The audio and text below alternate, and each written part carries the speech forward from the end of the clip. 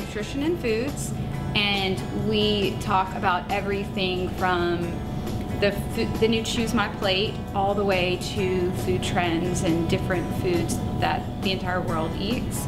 Then we have Culinary 1 and 2, and they start with basic skills such as measuring and chopping and cutting. We talk about eating healthy, and we start by preparing some basic meals, and by the end, they can cook a full gourmet meal. Culinary Arts is a program for high school students to prepare them to go into the world of work within the restaurant industry. It also prepares them for other hospitality industries such as hotel, motel management. So really opens up the field and allows them to see what's out in the world and available to them.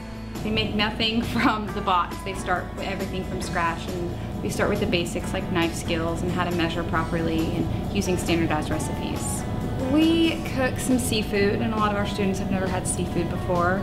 Um, some crabs and scallops and mussels, stuff like that. We made a vegetable soup the other day with our knife skills and a bunch of the students were like, I don't want to try it, it looks weird or it smells funny.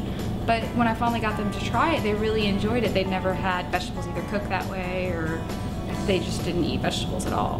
My hope is that they will learn more about nutrition and understand what it is to be on your own and it helps you grow up and once you leave your parents you can cook for yourself and you can in some classes do the laundry like we do laundry in here and a lot of students don't know how to do that their parents do it for them so we show them and they're a more rounded adult when they grow up i talk to them about nutrition and why it's important to eat the five food groups and stuff like that and then they understand that i get you know these nutrients out of fruits and vegetables and that's why i should eat them and cooking for yourself is very important. Obesity is the number one epidemic in the United States today.